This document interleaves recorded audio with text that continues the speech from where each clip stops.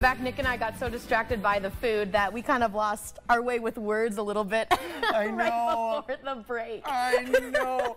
oh my gosh, but still, it's National Farm Animal Day, and with the help of 4-H, Maddie and I got to visit the Anderson Farm outside of St. Peter. Turns out the sheep at the farm just welcomed a fresh set of lambs last Friday. And I've never been to a farm before in my life, so I was stepping into a whole new world. Take a look.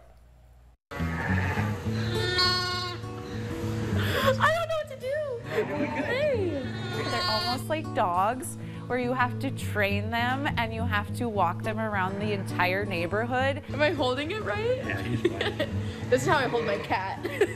Just like this. And you kind of have to work with them like a dog. You have to make them friendly and you give them treats, which I call their hay, their treats. And so I work with them and I take them on walks. And by the time I'm walking outside at the end of the summer, they're yelling at me like that one is to come see them. And it's just so rewarding to be able to have that relationship with an animal. My brethren, I love you.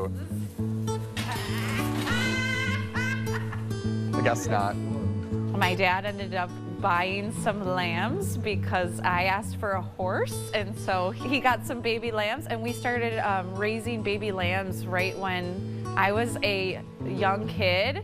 I've been showing them in 4-H but then also mentoring um, new 4-Hers in the program which is Mackenzie.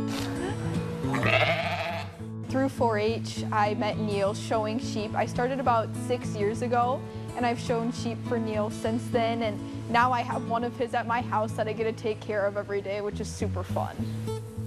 I feel like singing right now. I don't know why. Are you ready? Yeah. It's chaos.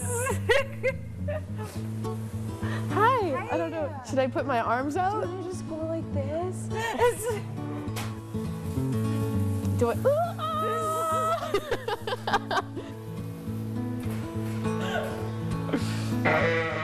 That's, that's mom calling for the lamb. Mommy's calling for the, the lamb. It's, yeah, baby.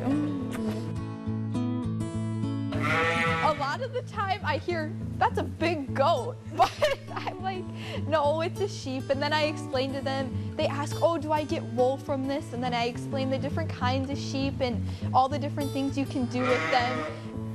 Whether you, you could hold yeah, it. can I hold it? Yup. Should I just put this on the ground? This one will be very nice enough to. oh my gosh. This. You're a little wild. Okay, buddy. I got a sheep. You got a sheep? Hi, buddy. Yeah. I got a sheep. They're they're really fun because I feel like some of them um, were shown at the fair and then we watched them be mothers, and so it's really cool because you get the whole bond with that with that sheep, and then watch them become mothers too. Okay.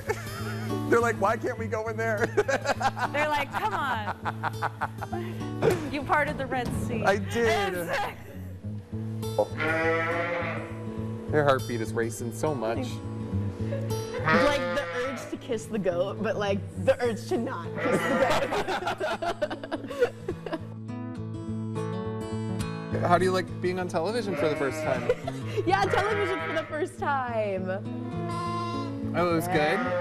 There's a lot of care that goes into it, and it's a lot of sometimes there's late nights, and sometimes there's nights when um, the mothers are having their babies, and so we have to be there and care for them. And um, it's almost uh, we want we want to see that they're safe and healthy, and so um, there's a lot of there's a lot of care that goes into it.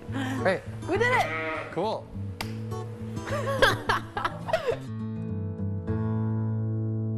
I looked like a fool. I called them goats. I'm holding a lamb and I'm like, oh, the goat. Well, I think the funniest part was like me, like being like, "Oh, Maddie, you should go in the pen.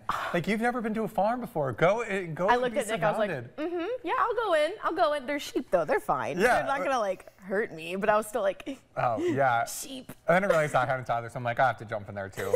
Causing chaos. That's what he said off camera when he was trying to hurt them all together. He's like, I'm going to cause as much chaos how as do possible. I, how do I cause chaos? well, it's still.